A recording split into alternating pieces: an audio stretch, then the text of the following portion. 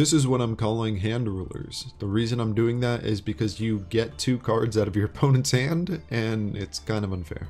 This is perhaps my final version of this deck I'm going to make for a while. Um, it's the most powerful one. A main synopsis you'll notice is that there's a majority of monsters. Um, the main point of the deck is that you want to mill cards milling meaning sending cards from your deck to the graveyard so that you can get more cards in your graveyard and use the effects in the graveyard. Essentially, your graveyard becomes a second hand late game. Combined with the fact that we have good opening hands, um, so it's not like we're lacking late game or early game.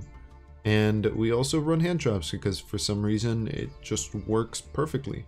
Going over the deck, starting off first, we have Droll Lockbird. It's a level 1 spellcaster, 0 attack, 0 defense. The stats, the level, the attribute, none of that really matters. The only thing important is that it's wind and that it has a good hand effect that can specifically stop Maxx C. Maxx C is the most scariest card against this deck because this deck special summons so much. Maxx C can give your opponent way too much advantage and yes you can play under Maxx C and give your opponent advantage but you know it's kind of you're in a bad situation. You don't want to give your opponent too many cards because one of the cards they draw might just be the answer to everything you have.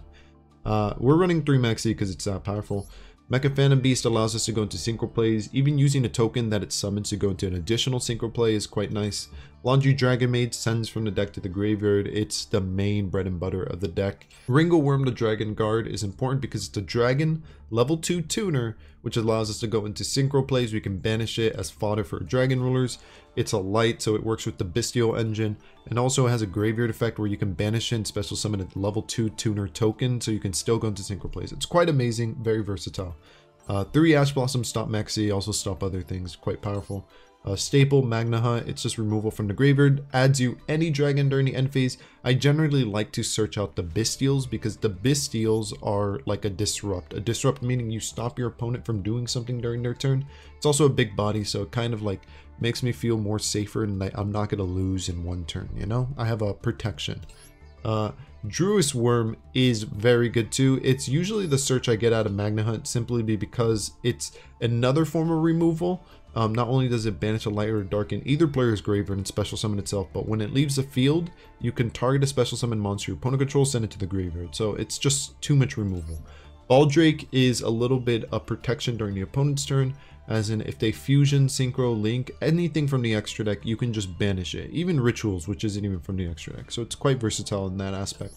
Uh, two of all the dragon rulers just because they can search themselves. Sometimes they have like cards they can search such as laundry dragon maid they all essentially do the same thing in the graveyard. Banish two dragons or the uh, correlating attribute summon it. Or in the hand they have unique effects like blaster can destroy a card if you discard another fire like ash blossom. It maybe comes up in some situations when they have like a floodgate and you need to get rid of it. But generally you just use them for the graveyard fodder uh, Kashtira Engine is extremely powerful here because it baits out the Ash Blossom, the Infinite Imperms. It provides us with the level 7 on-field body, and it is also quite scary when you can banish an opponent's face-up card face down. It's just like, damn, so many things built in. It perfectly works. 3 Unicorn because looking at the opponent's extra deck is very powerful. You can just stop them just from one banish entirely.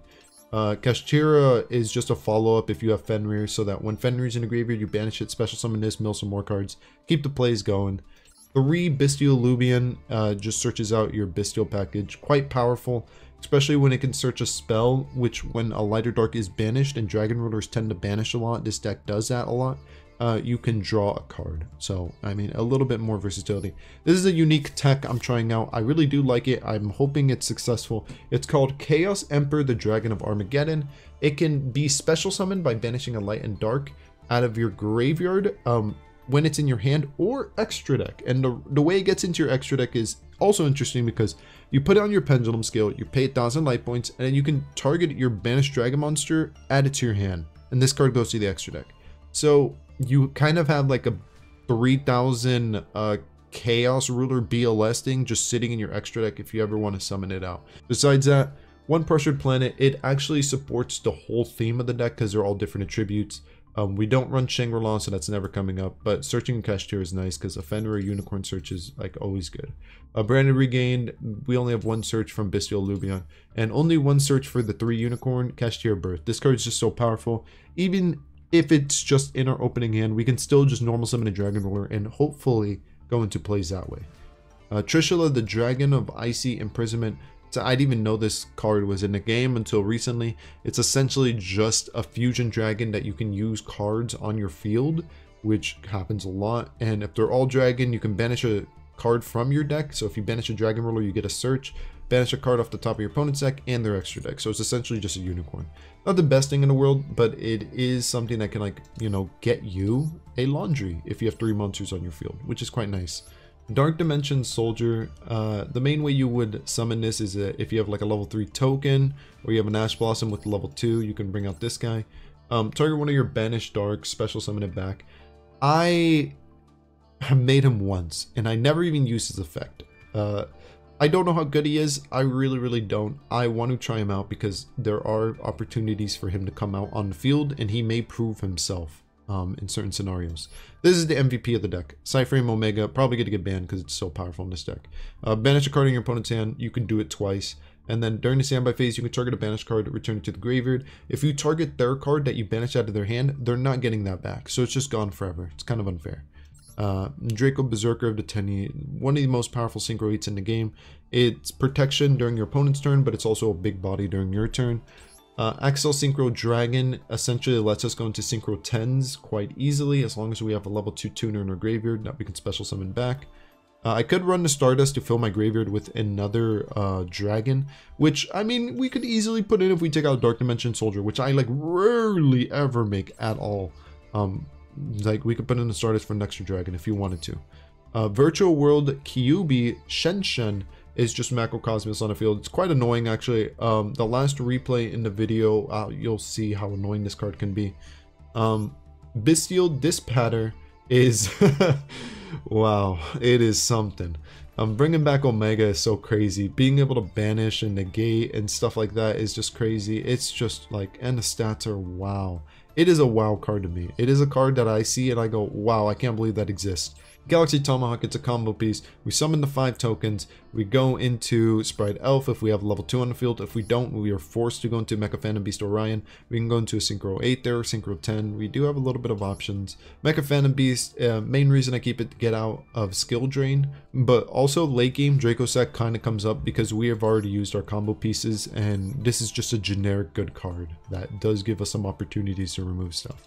Uh, Striker Dragon is only in here if we do Sprite Elf, we bring back the Laundry Dragon Maid, and then we uh, go into Striker Dragon just to have another dragon as fodder if we want to use it as like a tribute material for Baldrake or something. It's, it's It sounds very weird, but it does come up, and I like having it there because it's just like additional protection. It makes my board even stronger. Uh, two Sprite Elf, it's that important. We run so many level 2s that we just, we need the level 2 engine to be live. So two Sprite Elf, if one's gone, um, your opponent might not expect the second one. Uh, Mecha Phantom Beast Auroradon, uh, crazy, crazy card. Yeah, this card is so crazy. Just, oh man. I, I don't know if the deck would be the same without this one card. I hate saying that because what if it gets banned now? But dude, it's so it brings out the two tuner. It lets you go into your synchro. This card lets everything happen. It's amazing. Uh, Underworld Goddess is just there as temporary removal. Another card I was thinking of running is the Five-Headed Dragon. The Five-Headed Link Dragon, that's right. Uh, I wanted to run this card because it just says 5 monsters, which means that if you do do the Galaxy Tomahawk and you summoned a bunch of tokens, you could just tribute 5 of the tokens, summon this big 5k unaffected monster. Uh, I don't own it. I, I might try it out and see if it comes up a lot more. I'll probably take out Dark Dimension Soldier because I don't think this is going to be seeing much play, honestly.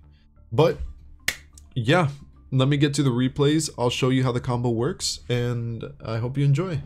So the main way you play this deck, or at least this combo, is you need a level 2 monster, which it doesn't need to be a tuner, and two level 7s. So Fenrir is important here, I guess just Kashtira in general, because we actually do bait out the negates, which we want to bait out, because uh, Galaxy Tomahawk, which we're about to make here, cannot get negated. If it gets negated, you're kind of in a worse situation than ever, because you lost one of your most important uh, combo pieces, and you're kind of screwed. Luckily, it doesn't get negated, so we're just able to play. Uh, main reason I'm doing this is so that I can get enough um, like levels on the field to continue my synchro plays. We make a synchro 8, which just gets rid of a card in the hand. Banish it, just get rid of it, more space in our field. And then we'll make this guy, which essentially just goes into a synchro 10. The synchro 10 brings back the 8, which gets rid of a card in the hand. So we could do it again. I'm going to wait until the standby phase because I think I have like a banish, like a redox or something. So I'm like, okay, well, I want that back in the grave so I can use it. They're playing Sword Soul, and uh, sorry, they surrendered really quick. But essentially what happened, they have three cards in their hand. Their swords, their card that they activated says, hey, discard another card, special summon this. We have a card, uh, the Patter, which would destroy it. We also have Omega, which would get rid of their last one card in their hand. And I'm sorry about this replay. I do get a lot of comments, people saying, hey, those cards aren't in deck. Uh, you are absolutely correct. I was running uh, Kashtira Theosis and Kashtira Preparations along with Kashtira Ogre, who will actually pop up in a bit. Main reason I was doing that is because I wanted to see if the other Kashtira cards were good enough. And I found that uh, although Kashtira Theosis is pretty cool, and I might run it in the future because it's not the worst thing in the world, um, Preparations is not good enough. It's a trap, and it's too slow. If it had been the spell, I would have been able to do even more plays, but since it was a trap and it's just like a dead card in my hand that does nothing, I'm I'm gonna be taking it out. I, I want every card in the deck to be extremely powerful so that new players, old players, anybody who's trying this deck, even though it's really, really, really expensive, anybody who's trying the deck will have great success. That's the whole goal. It has to be a good deck, you know. Uh, Dis Pater, bring back the Omega. I'm not going to banish right now because standby phase, we want to put something back in the grave. I have a Bystial or a Ringowurm, two great targets that I can put back in the grave. Uh, Ogre back from the trap. If they activate a trap, I get rid of another card in my hand. But I mean, the only trap I could see them activating Infinite Imperm, which is like? Why? Why would it? You know, it doesn't make sense. That's why it's going to be a spell. That's why I took out Ogre. That's why I took out Preparations. It doesn't work. Uh, just look at the top 5 cards in your opponent's deck, kind of want to see what they're playing, at the same time get rid of something that might be really good. Uh, we're gonna, or uh, yeah, we negate the Bystial because I have a feeling they're gonna search a trap, which would scare me a lot. Uh, and although they look like they're in a bad situation, they come out of this. They send a fusion, which draws them a card, they add a card, and the card they drew is good. It's a Bystial, so they're kind of back in this game. Get rid of the Sprite Elf, get rid of the Auroradon. Alright, what now? Synchro? No, no, just end turn. Okay. Alright. I'm not gonna go easy. I'm sorry. Omega's back on the field. We're gonna activate the field spell, Rise Heart. It's just a normal summon. Banish the Kashtira dude. Uh, Fenrir, so we can just special summon it back with the trap. And then Fenrir's, you know, Fenrir, so we get a search. They also have an essential pop. Our full board is just gas. It is gas, no breaks. GG. Uh, this third replay is just going to be me talking about, like, what if your opponent already has, like, cards on the field? What if they have monsters and established board? How do you, how do you beat that?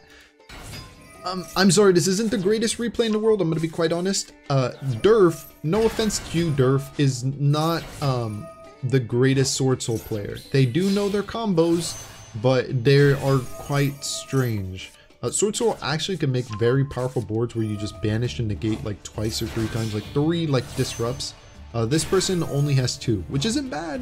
It really isn't. It's just not three, you know.